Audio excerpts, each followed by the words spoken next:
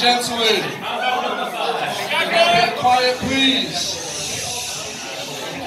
Introducing the first speech of the night, the father of the bride, Mr. Patrick Corley. Can we get a round of applause, please?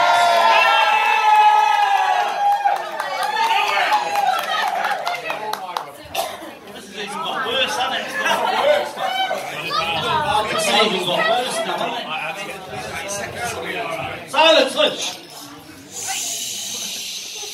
That's me. Fingers on left, First of all, on behalf of uh, Debbie, myself, Jasper and Lynn, we can't thank you enough for all the effort you've all got, you know, to come here and all the things that have gone on, whatever. We, we do appreciate so much. So, celebrate uh, Adam and Lauren's wedding.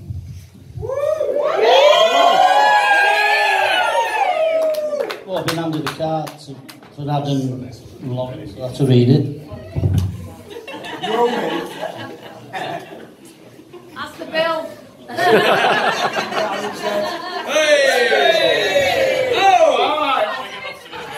Oh, sorry. Tupac, have a wonderful day.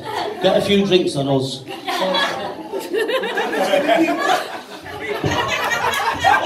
well, Pat, share your wealth. And that didn't happen. So, it's been a fantastic week. I mean, meeting all Lauren's friends, you know, the normal wedding I wouldn't have met you. But what me and uh, Jasper were talking, what a wonderful crowd. You've got friends, you're lovely. A lovely week, lovely day.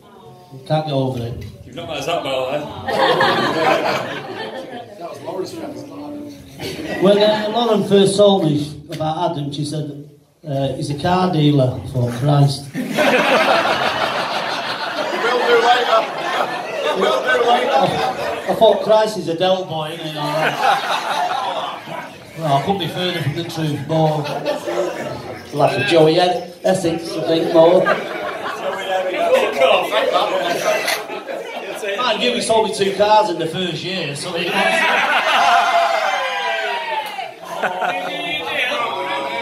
So, Adam, see, can we do a deal? 29 years on the clock. Body works immaculate.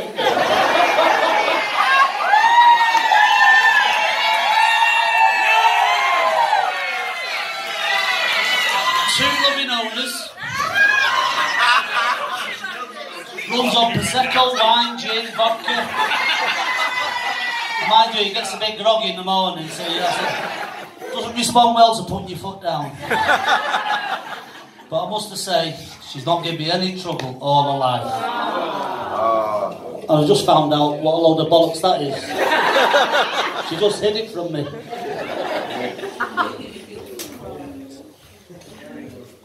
Bear with me, lost the plot. I'm afraid there's no spare tyres either on this model. But sure, if you treat her well, there'll be many mini Bauers you'll get out of her.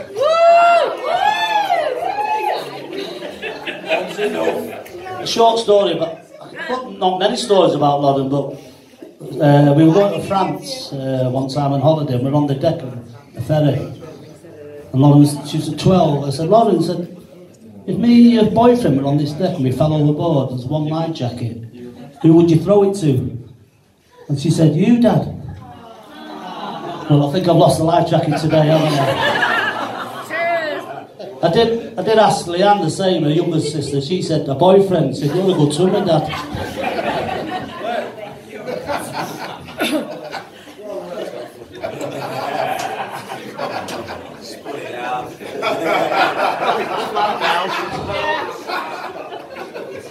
I'd like to say one thing. You know, I don't know if you all heard that I'm a granddad now.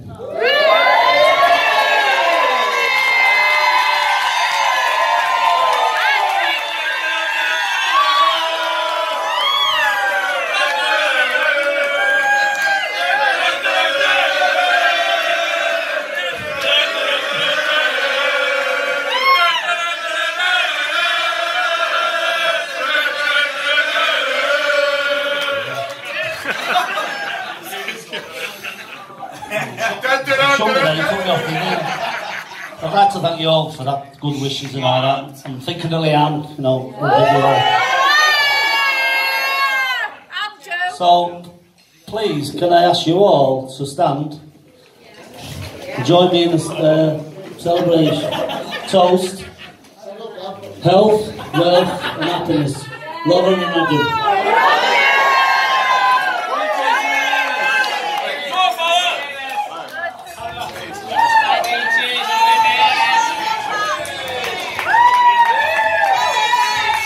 Can we all get a massive round of applause for Father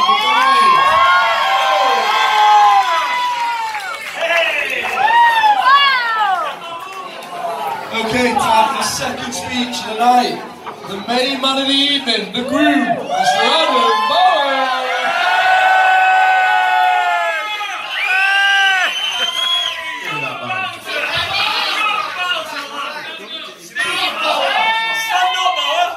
So, I would like to begin my speech by saying I'd like to couple up with this girl. It's because when she walked in the villa, I knew she was the one for me. Hashtag call me Bauer, hashtag Love Island.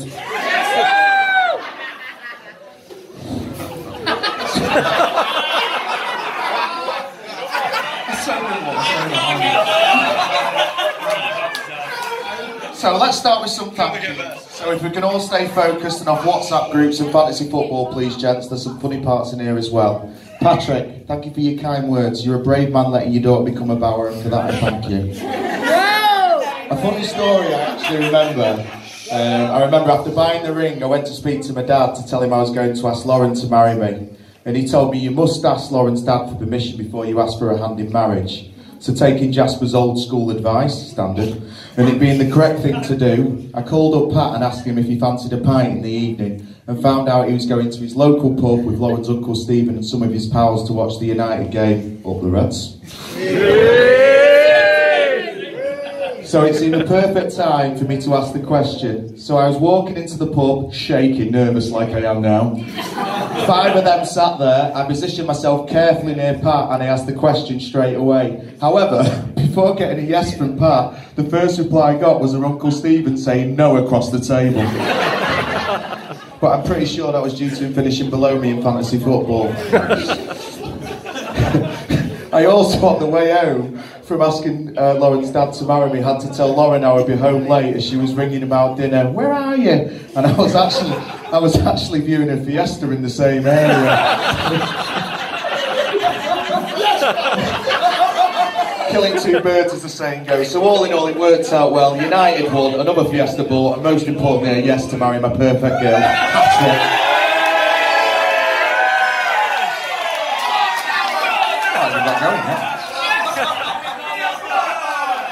Now, it's not often you can have all your loved ones, friends, and family in one place, especially abroad in a beautiful villa, all together to share our perfect day. So, on behalf of me and my new wife,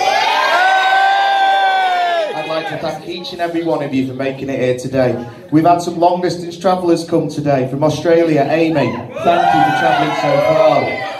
Uh, my boy Mickey Blue, all the way from Thailand. Where is he? Where is he? He's no longer allowed into the UK for FBI and mafia related reasons. But we'll leave that there. Uh, to Lauren's Bridesmaids. Where are they all? Where are they? To Lauren's Bridesmaids that have got Lauren through today and making her look so amazing. I can't thank each one of you enough. The bond and friendship you girls have, I've seen over the years, is like the Goonies and Spice Girls all rolled into one. It doesn't actually seem that long ago. You all had me sat in a house in Didsbury when we first started dating. You were all living together, interrogating me, looking out for her, making sure I was the right man for Lauren, and clearly looking at how tanned and shredded I look today. I say she's done okay for herself.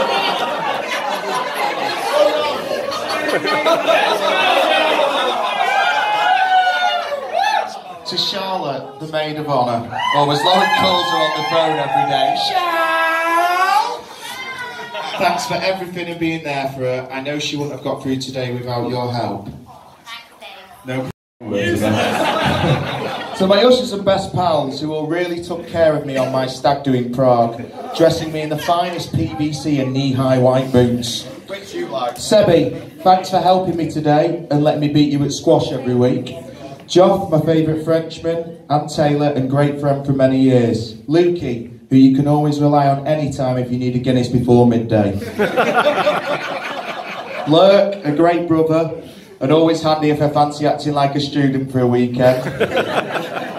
and Woodsy, one of my oldest friends, who I can always rely on if I need a lift in a stolen car.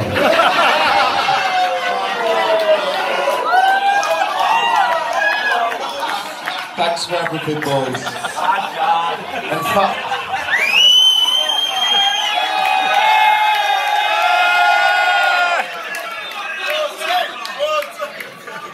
And you drove the hire car today, uninsured with no licence again.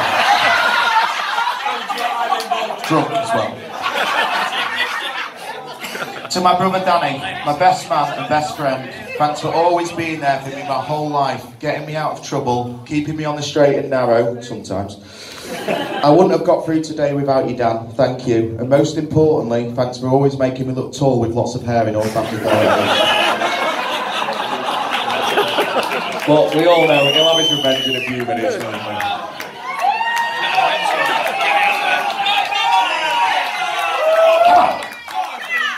To my mum and dad. Thank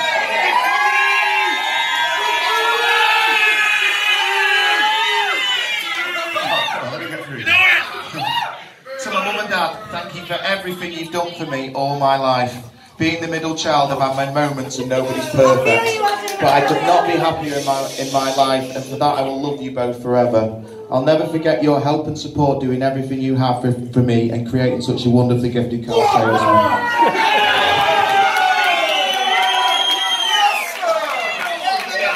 to my new family that I am joining today.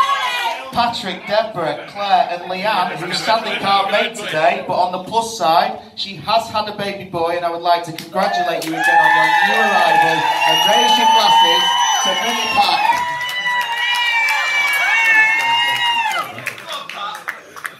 Uh, are we? Yeah, You've welcomed me into your family with such kindness and made me feel so at ease and part of your family. I also want I also want to thank you both for giving me the best wedding present, your daughter Lauren, which I can't wait to unwrap later.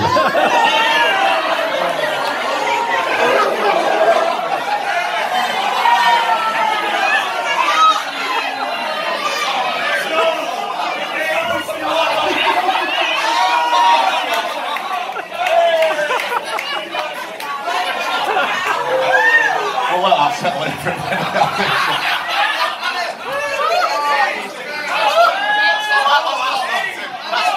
That, Shadows. Now, uh, just genuinely, genuinely, um, on a slightly more serious note, it wouldn't have been right doing this speech today without me mentioning someone very special to me all my life. My grandma, who sadly left us last year. We were extremely close and amazing friends, and she loved all her family and Lauren to bits. And I know she's looking down on me and Lauren today, wishing us the best, nibbling on an M&S custard cream with a cup of tea, which I'll sadly miss with her on Mondays when I have the fair. so I'd just like to toast for everyone to loved and lost ones. All right, to loved and lost ones. Thank you. Um, now, on to my new wife, Mrs. Lauren Bauer. Actually first met Lauren in Manchester Airport five years ago. And me and a few of the boys were going for a quiet, relaxing weekend in Ibiza. sorry, sorry.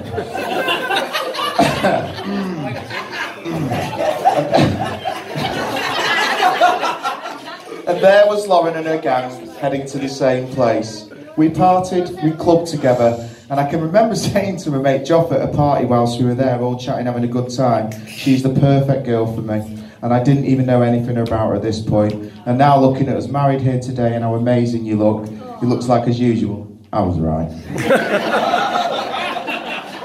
Lauren, I can honestly say since being with you, I've never been so happy. Every day when you come home from work, I fly to the front door to answer it just to see you. Did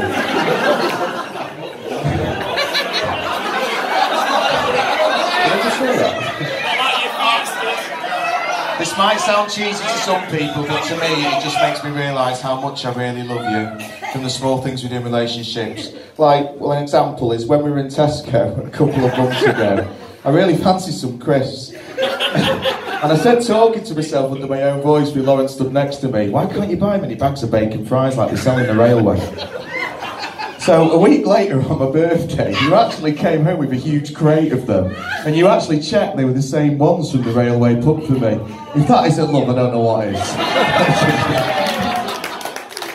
or the time you were so sick of me stacking the dishwasher incorrectly, you, you gave me a written pass to stack the dishwasher anywhere I wanted for one week only. Oh, I was just kicking dishes in for a full week.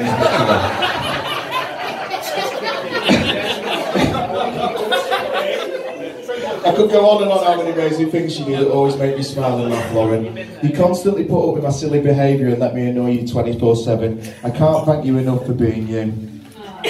Uh, I would have you no other way. Since being with you, I've not just been the happiest I've ever been, but also become a better person, all thanks to you. I can't wait to start a married life together and have a family together with lots of boys, which I know you want so badly. Don't you, Lauren? Patrick, Deborah, you have done such a wonderful job raising Lauren, and anyone knows her.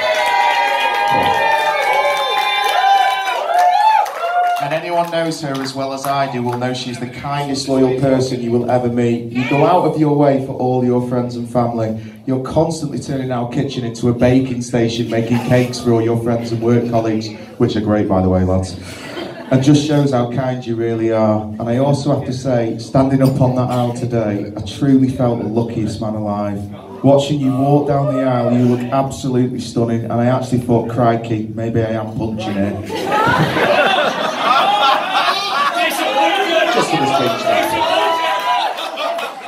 Thank you for coming into my life, Lauren, and being everything you are and loving me for who I am. I will spend my life looking after you and annoying you. And for letting me do that, I will cherish you forever and support you through all paths of life. And now you're my wife, know our journey and fun will continue for many more years of happiness and fun together. So to everyone here, all my friends, family, loved ones, and I'm sure you've heard enough of me now. So I'd like you all to raise your glasses to the Bauer wedding and final toast to my new wife, Mrs. Lauren Bauer. And to finish it off, help me boys, just want to follow us up. Be back here.